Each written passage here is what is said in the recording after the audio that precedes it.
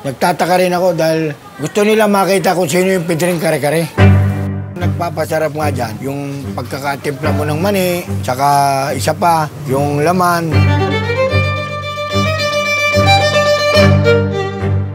Nababalitaan lang nila yung pangalan ko. Pero yung nagkakalokan, kahit bata ang tanungin mo, kilala ko. 50 years na akong mahigit na nagkakare-kare.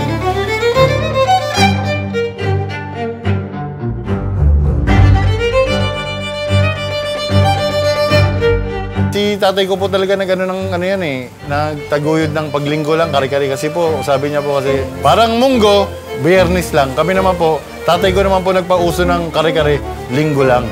Alam na po ng kalookan, pag Sunday, ulam po nila, kari-kari.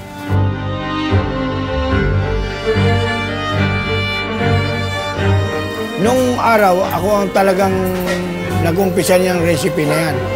Eh, masarap sa pakiramdam sa puso ko, talaga nasisyahan ako. Dahil sila, bukod sa mura na nabibili nila, masarap pa. Dahil nga sa nababalitaan nila sa mga bumibili, kamukha ng mga magkakakapit bahay, oh, anong ulam nyo? Kare-kare. Tsaka bumili. Pero kayo mang Pedring kare-kare. Yun. Oh, yun. Ganun lang.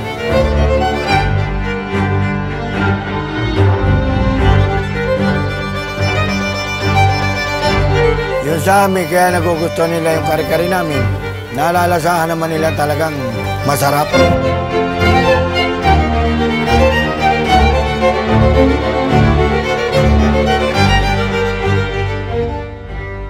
Ang tawag nila sa akin, Pidring Kare-Kare. Laya. Yung tunay kong pangalan, Pedro Laya. Kaya lang ang bansag sa akin, Pidring Kare-Kare. Ayan si Kare-Kare.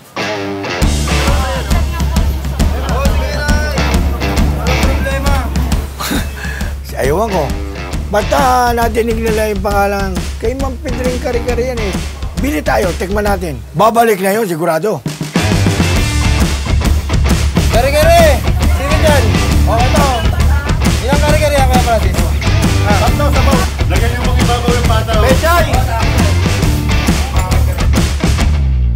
Unang-una, bagong luto, kita nila. Kita nila kumukulo, bagong luto, bago hanguin. Pag hinango, bibigay na sa kanila, bibenta na. Kitang-kita nila, dadaanan nila, kita mo? Dati po kasi ang kari-kari namin is 70 to 80 pesos. Kaya lang po, isang laman lang po yun. Ngayon po, ginawa po namin ng 100, pero po, marami na po yung laman. O, panay, sabaw! Meron! Panay, sabaw! Kapag yung dine-in po kayo, Anli Sarsa po ng kare-kare, kasanayan dito, ang tawag po sa amin sa Sarsa, Sabaw. Anli po yun, tapos yung bagong po namin, Anli, basta po dine-in.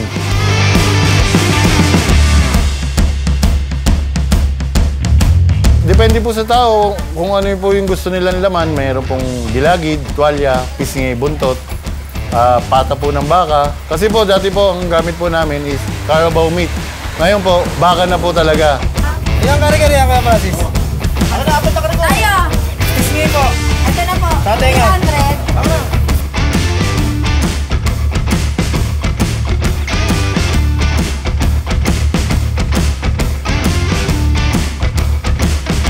Pag may nakatikim, siguradong babalik. Dahil masarap. Masarap ang pagkakaluto namin. Sige, pipila kami. Kung abutin, abutin. Kung hindi, hindi. Kamukha dyan kanina. Ang dami nakapila. Nakita nyo. Pinauwi na namin. Eh, kako, wag na kayo magalit, ha? Sinabihan naman namin kayo. Kung hindi kayo abutin, o sige, bahala kayo, kako, ha?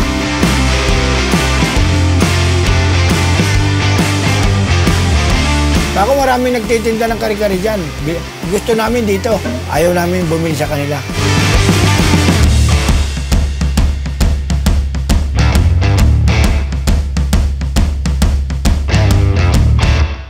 Dito sa 110 Pesamora, Caloocan City.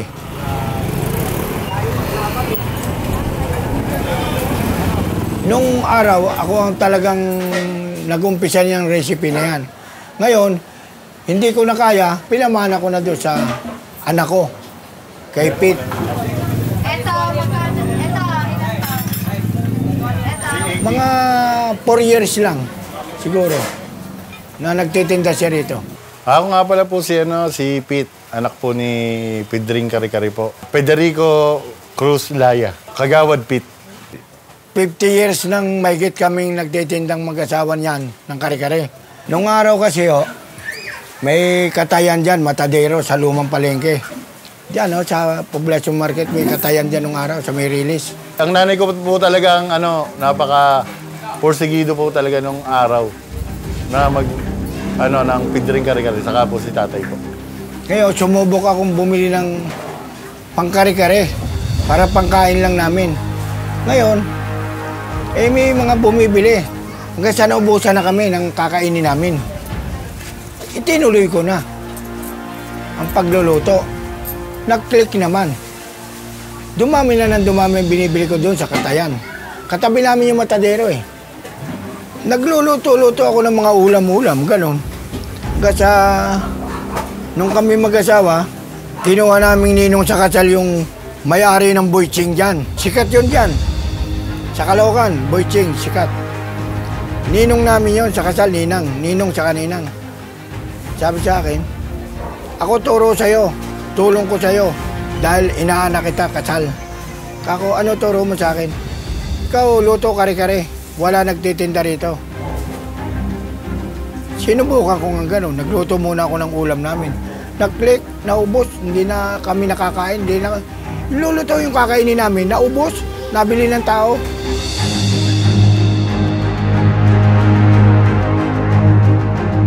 Eh, pinalingguan uli, nagluto na ako. Marami-rami. Naubos na naman. Hanggang sa dumami na ng dumami.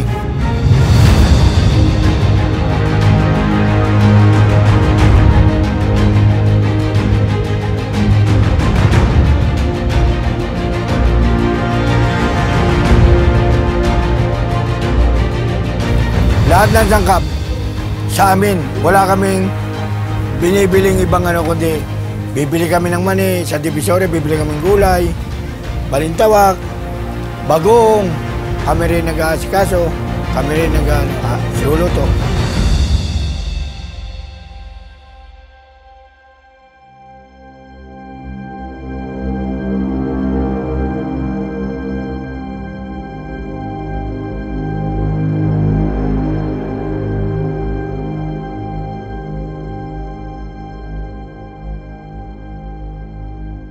Oh, bali po nung ano po, nung pandemic, natigil po kami. Di nung June po, bali dapat nga po tigil na po to kasi umayaw na po yung si tatay, si Ma'am Pedring.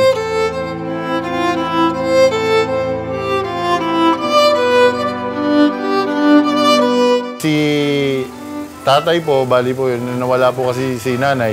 Yan po, kaya naglungkot pong konti, kaya po napabayaan po yung kari-kari po.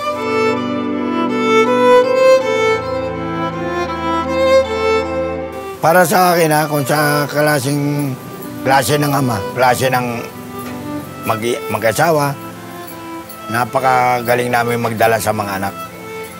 Mababait yung mga anak, saka yung asawa ko. 50 years na kami mag-asawa bago siya namatay. Apat na taon na. Hindi nga makalimutan ko eh. Kaya nagugulo, isip ko rin.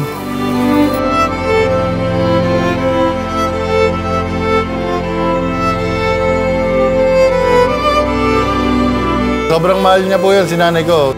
Oo, eh, malaki pati yung panghihina ng katawan ko. Kaya nilipat ko na kasi sa anak ko. Hindi ko nakakayanin dahil nga nag-iisip ako eh. Niisip ko yung asawa ko eh.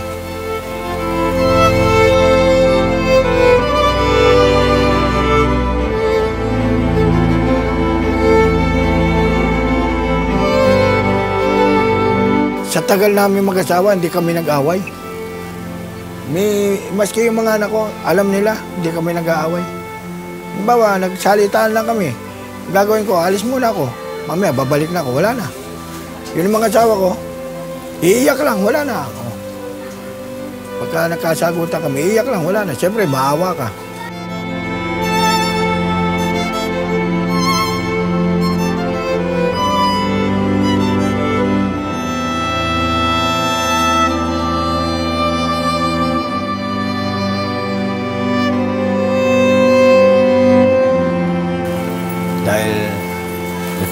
Kunin na rin ako niya eh. Ako, kunin mo na ako. Panalangin ko, kunin na niya ako. Para ba makakasama ko na siya, ganun.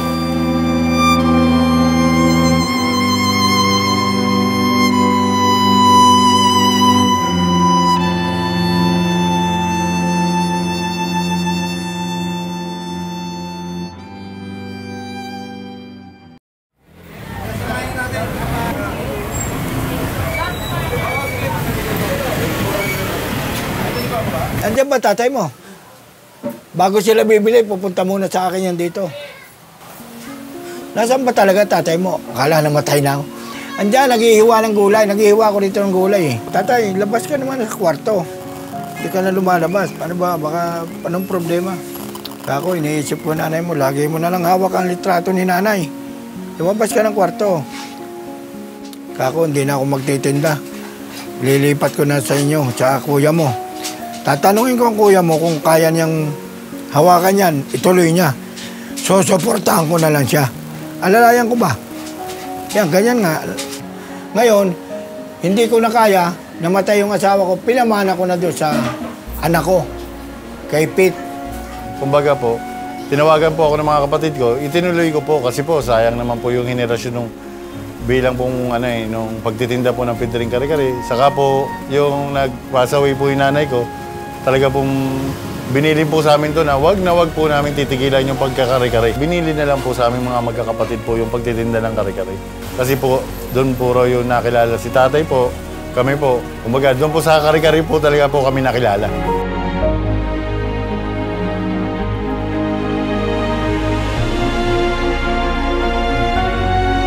Sabi ko sa anak ko, yung pinag, pinalipatan ko ng mana, asikasuhin maigi yan. Pati mga tao, asikasuhin mo maigi. Kailangan ma, marunong ka mag-interview sa tao, makisama, pakikisamang mabuti, at saka sarapan ng luto, unang-una. Yan ang hindi kalilimutan ng bumibili sa'yo. Ikaw ang pupuntahan, hindi ikaw maghahanap sa kanila.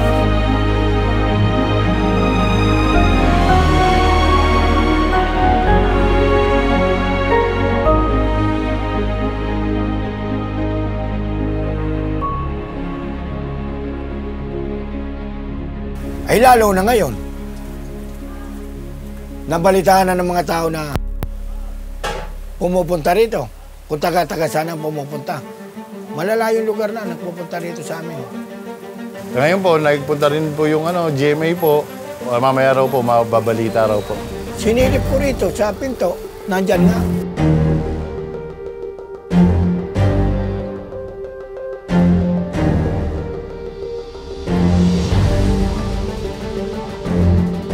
Padaan lang yung GMA.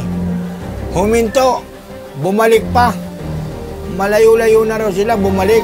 Titingnan daw nila, kala may gulo.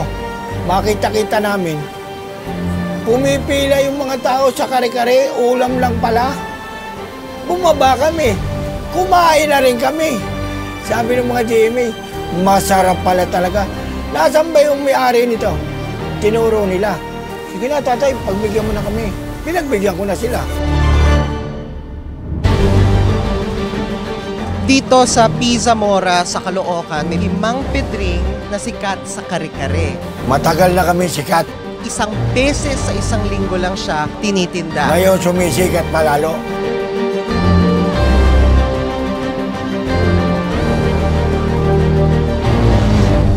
Hindi namin alam kung taga-taga siya. Kanina, tinanong ko yung mga tao. Meron daw sila, sa baklaran daw sila. Yung isa, natanong ko, saan ba yung balik-balik? Sabi, taga-balik-balik pa siya. Dinadayo kami. Mga taga rito lang bumibili, tsaka yung ibang ma- malayo-layo. Dadalhin pa sa Mindoro. Eh ngayon po, nahihiya nga po ako sa mga taga-Kalokan kasi po, dumami na po lalo yung customer. Eh. Dati po, mga taga-Kalokan lang po ang mga customer namin. Eh ngayon po, wala po na vlog. Ano na po, iba't ibang mga lugar na po yung na, nadayo. Bali po yung isa-isang order na isang bowl po, meron pong laman po nung pipili kayo. May isang laman, meron ko pong pwedeng kasamang tuwalya. Bali, two piece po kasi siya eh. Yung presyohan po, yung pata po, is um, pinakamura po ng pata namin is 200 po. Depende po sa laki. Mayroon pong 300 po, yung malaki po. Tapos po, yung mga pisngi po namin, may, may 90, may 100. Yung goto po, 100. Tapos po, yung gilagid, 100 din po. Tapos, ah, mayroon po kaming laman, purong laman po, 100 din po. Kasi kumpleto Ricardo yung sa amin. Hindi kami nagbabawas ng Ricardo. Bali Sunday po, ang opening po namin is 5 a.m. po hanggang 12 noon. Hanggang naubos po, minsan po 11 a.m. po, ubos na po. Ah, yung sabaw po ng kare-kare, pag dine-in po, pwede po bang humingi? Unli po. Pati po po bagong.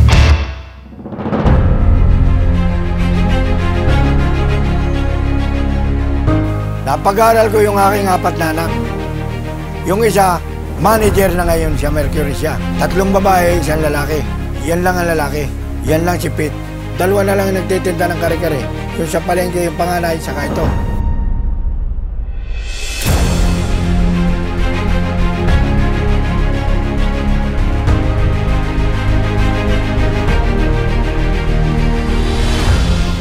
Kaya ang mapapayo ko sa inyo, kung kayo magtitinda, ganito rin ang gagawin nyo. Pakikisama sa mga tao, at kasi ayusin nyo yung niluluto nyo, mga kinakalan, sarapan nyo. Huwag ninyong papalsuhin ang trabaho. Kinakailangan, yan ang unang-una. Para kayo, lapitan ng tao, mahalin nyo ang pagtatrabaho. Para sipagan nyo tuloy. Para kayo, kumita at may pambubuhay sa pamilya. Kaya ako po, nagpapasalamat po ako kay tatay po, kay Ma'am Pedring Kare-Kare. Kasi po, napakasipag po niyan ng nanay ko sa katatay ko. Mga kapatid ko po, lahat naman yan, nagtutulungan po nung araw pa po yan. Ako po si Jocelyn Guerrero, panganay na anak ni Pedring Kare-Kare. At salamat po sa patuloy na pagsuporta nyo sa amin. Ah, kami po ay 50 years na tong taon na to, ang Pedring Kare-Kare. Oh, Okay lang, marami kaming natutulungan mga tao. Siyempre, ang pagkain namin masarap, kakapresyong masa, di ba? Yun lang ang pinagpapatuloy namin. Ay kinakailangan talaga para mahanap mo yung ano mo sa buhay, ito mong guminawa, eh kumilos ka. Hindi yung aantay mo sa bahay, mabagsakan ka ng bomba dyan sa bahay. Pag hanapin mo yung swerte, magtrabaho ka para dumating ang swerte. Sipag at tiyaga. Yan ang kinakailangan sa buhay ng tao. Hindi tutulog-tulog ka. Parang dadating sa iyong grasya, tulog ka.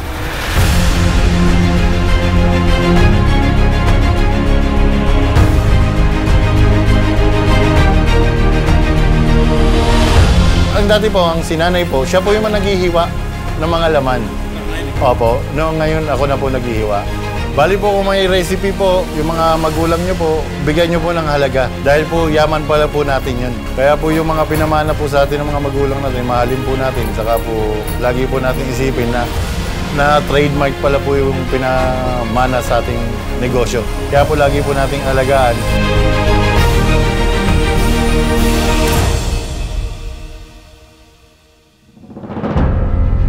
Isa pa nga, ang pinupunta ng bumibili, yung nagtitinda si Ma'am Pitring.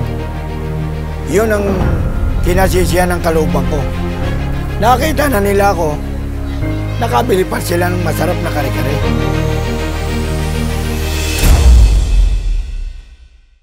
Bali ako po, nagpapasalamat po ako sa mga customer po ng Pidring Kare-Kare na willing pong pumila, na talaga po namang kahit gaano po kahaba, pumipila po sila. Maraming maraming salamat po sa mga customer po namin. Ah, nagpapasalamat po ang Pidring Kare-Kare sa inyong lahat.